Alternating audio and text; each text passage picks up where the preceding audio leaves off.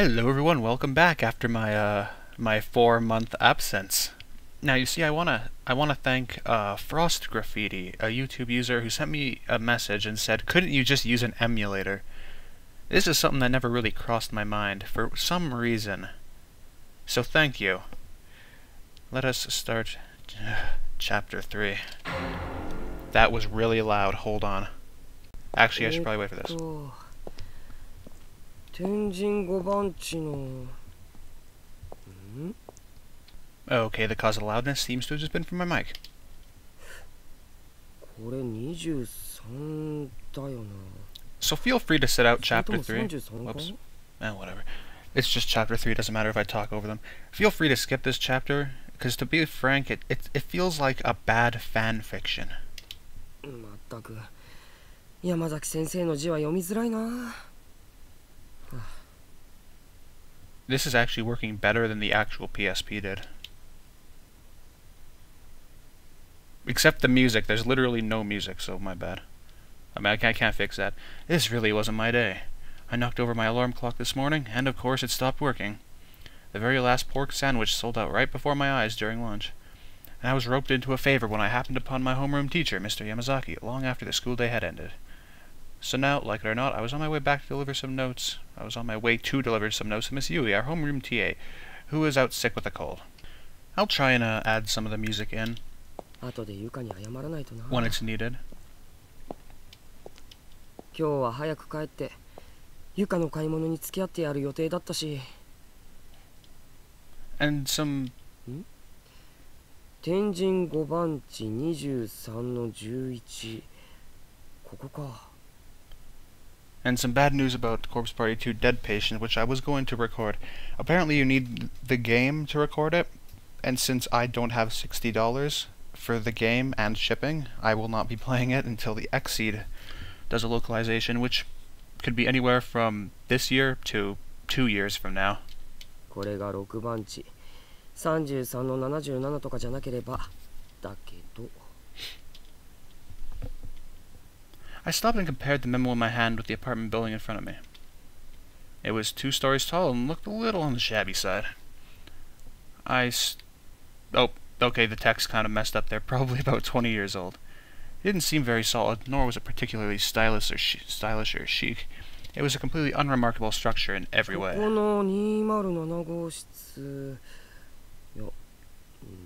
201 Oh yeah, that's right. Uh, another thing about this chapter that's really quote fun. The it, it's not in Heavenly Host, as you can probably notice. So yeah, there's a chapter not in Heavenly Host. Doesn't that sound exciting? I was really getting fed up with his handwriting, and from a teacher no less. In any case, it seems certain the apartment was on the second floor, so I trudged up the startlingly narrow, steep stairs. The metal staircase was thoroughly blotched with patches of rust. Why would someone live in such a run-down apartment building? 先生の給料ってもしかしてすごく安かったりするのか I don't know. Are they? I know that there's been a lot of, well, a few strikes up here in Canada with the teachers, but I don't pay any attention to them. I felt a little sorry for her, but in a way this place kind of fit her personality. With that thought in my mind, I turned my attention toward apartment 201. ここが201号室かうーん でもゆい先生の家じゃないな Oh yeah, that's a, I don't I think I mentioned this already, did I? No, I don't know. Maybe I did. But there's no there's no gameplay. Like if you, if you didn't like the the point and click gameplay of the other chapters, then don't worry, there's none of this in it. There's no gameplay at all. It's just dialogue and choices. So, you know. Yeah, chapter 3. We uh, yeah, I, well, I was going to say something, but never mind. The door plate for the room nearest the stairs had a name I didn't recognize scribbled on it. ってことはこの奥か Passing room 201, I continued down a narrow walkway toward the end. Wandering alone around an apartment building I'd never been to before made me feel kind of nervous. It wasn't like I was doing anything wrong, but my back still s- tensed up as I maneuvered around piled up strollers, plastic toys, and bundles of newspapers. And then, finally, I arrived at the last door. ここだ This was it. I breathed a sigh of relief. The door plate for apartment 207 read Shishido. For an adult's handwriting especially, the letters were rounded and overly cutesy. This was Miss Yui's place, all right. なんだろうこれ Geez, that, that text. I leaned in to read something written in small, written in small script on the corner of the door plate. 愛病注意っ てえ猛犬注意じゃなくて Well, Miss Yui doesn't have a dog. She has Monet.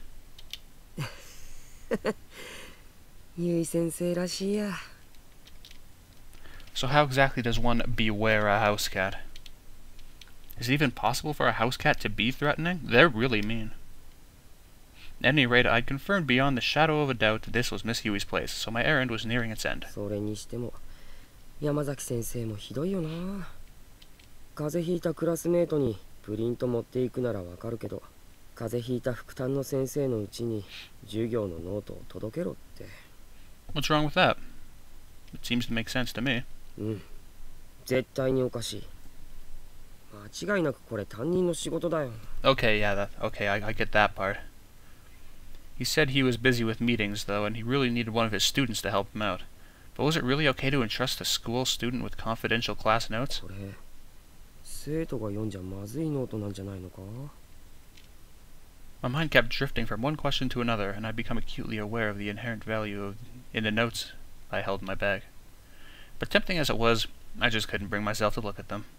Mr. Yamazaki put his faith in me, after all. But, uh, um, thank you. And I was stronger than that. I couldn't let this get the best of me. At any rate, I was here. I should have just been able to drop off these notes and be on my way. Putting all my doubts and mis- misgivings aside, I rang the doorbell.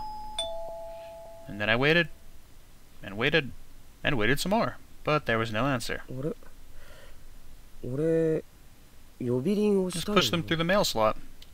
ゆい先生 I rang the bell again, and also tried calling out.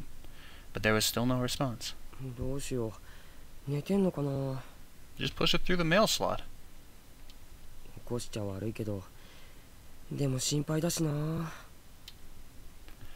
When we had heard that Miss Yui's was staying home sick today, we were all pretty disappointed. That's why part of me was actually a little happy that I was asked to run these over to her. I figured I'd be able to check in, see how she was doing, and let everyone at school know that she was feeling better. けど会えないっていうのは想定外だったなゆい先生ゆい先生反応な しか The mail slot. The mail slot, Satoshi. えっとゆい先生すみません She was probably sleeping, or out at the doctor's or something, but what if she were hurt? I tried opening the mail slot and peeking in. Yeah, you, you're aware that the mail slot is there. Just push the nose through. I thought maybe I could get a glimpse of the room inside. ゆい先生 I thought may oh, oh yeah, text. It felt kind of wrong peeking into someone's house without their permission. But I was legitimately worried about Miss Yui's health, so my conscience was clear on this one. Oh, Nico. Monet. A well-groomed cat was facing the door and staring back at me. With its head tilted slightly to the side, it let out an adorable meow. This must be the cat I was instructed to beware. Um, thank you. And since Miss Yui was al- always going on and on about her little buddy, I was pretty sure I remembered his name. この子が噂のモーレじゃなくて確か Is that an R Oh. or an N? I'm. Oh, never mind. Okay. そうだモネちゃんだへえ綺麗な猫だな Such an ugly color. Miss Yui talked about her cat a lot in class, so pretty much the whole school had heard of him. She even had some tin, tins of cat food hidden on a shelf in the classroom, probably because she, she'd bought too much and had no room for them in her apartment. モネモネ先生はいるか Yoshiki brings up the uh, cat food in the cap cabinet in the classroom if you inspect it in the first game. 先生がいるんだったら起こしてきてほしいんだモネ頼むよ、うんやっぱり無理か そりゃそうだよな My shoulders sank. I felt defeated. What the hell was I doing? I closed the mail slot and stood back up, and then pushed 弱ったな papers through it. ゆい先生 どうしたんだろうどっか外出中とか空いてたりしないかな Lost in this speculation, I placed my hand on the doorknob. And with a quick twist, I turned it and pushed on the door, opening it easily. 鍵かかってないのかってうわいけねえモネが出たら大変だう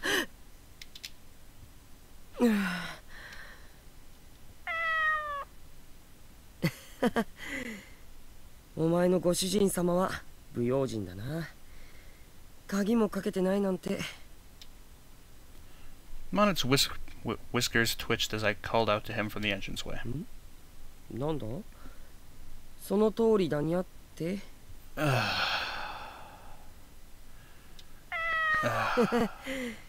モネもやっぱりそう思うか Satoshi, that was terrible.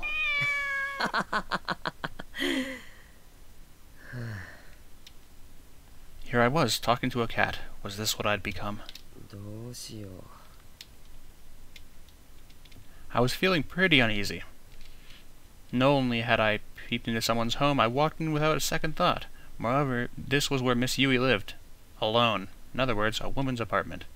No matter how many times I reminded myself that I was here on an errand, I couldn't help feeling that I'd not only crossed the line, but leaped over it. ゆい先生 I tried calling her name one last time. But as I expected, there was no answer. 本当にどうしようかな Just leave them on the counter. I was trying hard to avoid being too nosy, but my eyes inevitably began surveying the room. The apartment entrance led out immediately into the kitchen, and beyond that there was a sliding door to some other room. I could see light through the gaps. I strained my ears, but there was nothing to hear, no signs of life whatsoever. Miss Yuri must eh, have been out. One more time I tried calling out to her, but...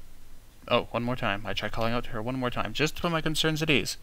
I felt like I'd seem even more suspicious if I stayed silent. Yui sensei, Mochida desu. Still nothing. Maybe she was asleep on the other side of that door. Oh, yeah, yeah, yeah, yeah. Yeah, that you should, probably should not do that. Shaking my head furiously, I cast out that sudden impulse. That was a terrible idea, pure and simple. Entering the apartment unannounced was bad enough, but walking all the way in, opening that sliding door, and peeking inside, that was just too much. このタイミングでゆい先生が外から帰ってきたりしたら俺結構まずい No, she seemed like she'd be pretty understanding. Just say, hey, I came to bring these over, and you left your door open. She'd be like, oh, alright. じゃなくてだいぶまずい Text. Text. Okay, I guess it's not gonna fix that time. I'm on mute as if in agreement. Actually, hold on. There we go, I just had to remember what the button was to open this. No, scratch that, I'd be in plentiful dense scalding water, that's what he said. I'm on mute as if in agreement. Panicking, I once again surveyed my surroundings. I almost felt like there were eyes on me, staring with disdain. But of course, nobody was there, except Monet, who was probably looking at you. Yeah, there you go. Now you're using your noodle. Wondering why I didn't think of this sooner, I dug into my bag for some paper and a pen. 山崎先生から頼まれたのでって書いておけばいいんだよな俺のノートでいいやえーっとゆい先生えっと Crouching in the doorway, I ran my pen across the page. I brought class notes at Mr. Yamazaki's behest. Everyone has been worried about you. Sorry about barging into your apartment. あと不用心だから鍵はかけた方がいいと思いますとん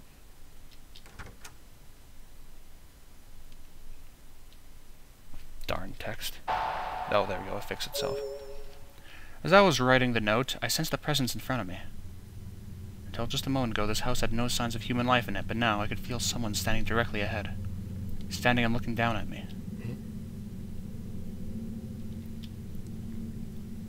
Fidgeting nervously, I put down my pen. Raised my head slowly. and saw a white, slender ankle. Shocked, I shot my head up, and there, standing before me, was Miss Yui. Miss Yui's stance right here reminds me a lot of uh, Yoshie Shinozaki's stance when you find her ghost in Chapter 5 of the first game. Like, it just looks like it. A lot.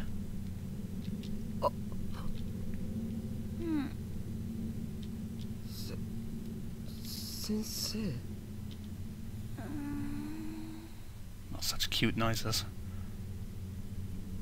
She was looking right at me, but she seemed decidedly out of sorts. Her hair looked dis dis dis disheveled, disheveled. I don't know what that word is. Her gaze was unsteady, and her pajamas were in complete disarray. She was like a completely different person from the usual Kempt educator we'd come to know and love. えっとゆい先生俺勝手に入っちゃって I stood up frantically and held out the note I'd been writing. Bud?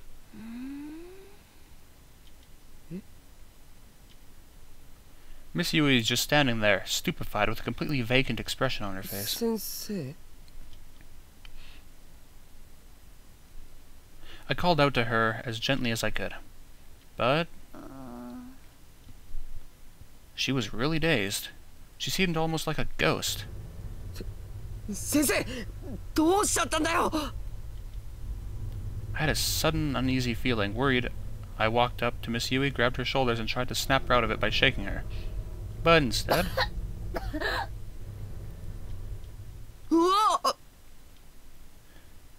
this just seemed to make her cough.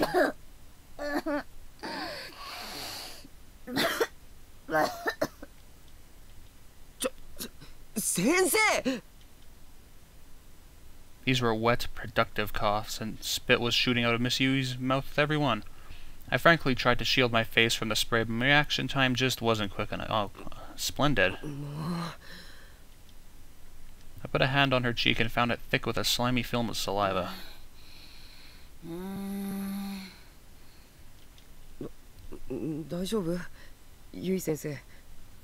Yeah, she seems perfectly fine. Miss Yui hobbled back a little and fell to her knees with a thud.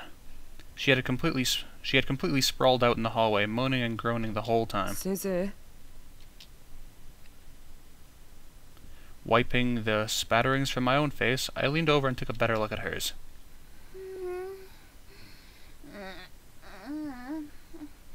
Oh, it's it's such cute noises. It was bright red. Come on, text. You can do it. You can do it, text. Thank you. Strained breathing, a stuffy nose, and a visibly high fever on top of it all. She was sick as could be. 寒寒いのでも汗かいてるよ寒い I thought maybe her sweat had cooled down, but then realized her disheveled pajamas clearly weren't doing her any favors, or certainly weren't doing her any favors. With heart pounding a mile a minute and face red as a traffic light, I set about buttoning her あ up. のゆい先生俺のことわかる持田だよ 寒いならちゃんと布団で寝ないと出ないと治るもんも治らないってうんうん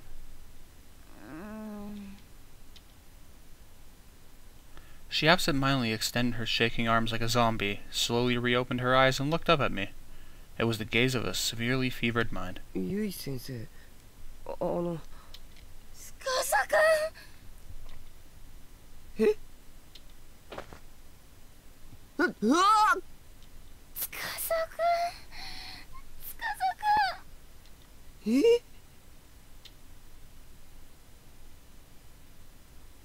Miss Yui was clinging to me tightly. I couldn't move. I was frozen in shock. She began to weep.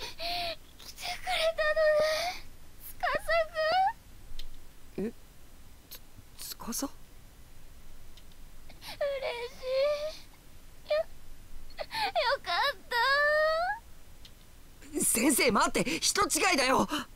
You see what I mean when it seems like a really bad fan fiction? It seemed like I wasn't getting through to her at all. And the sensation of her chest as she held me was making it virtually impossible to fight her grip.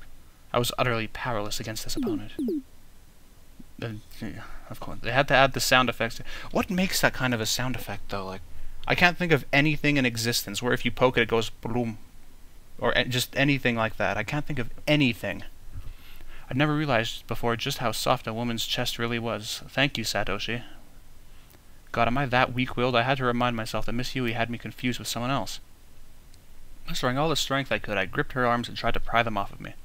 But she was a lot stronger than I had anticipated and wouldn't let me get away.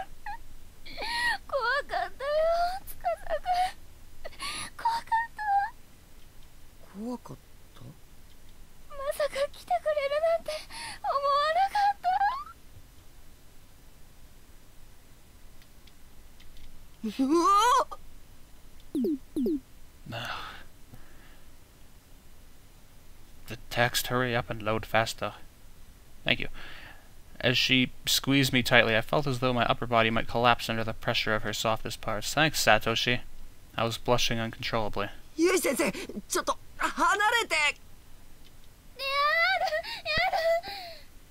Duh.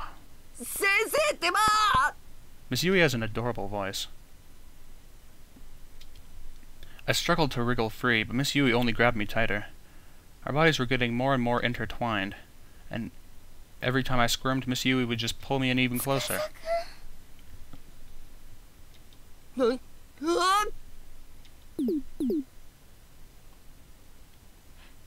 As her chest rose and fell erratically, droplets of sweat slid down her cleavage.